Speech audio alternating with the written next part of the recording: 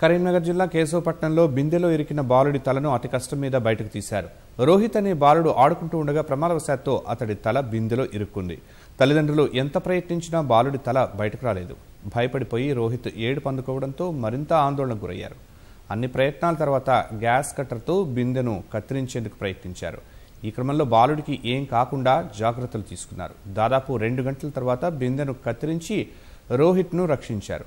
చిన్నారి క్షేమంగా బయటపడటంతో తల్లిదండ్రులు ఊపిరి పీల్చుకున్నారు.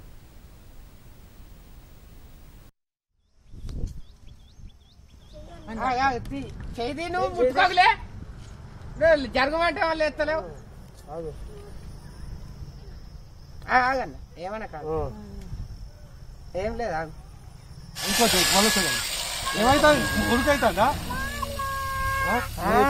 ఏం కాలే షో. బాగా చేస్తాడు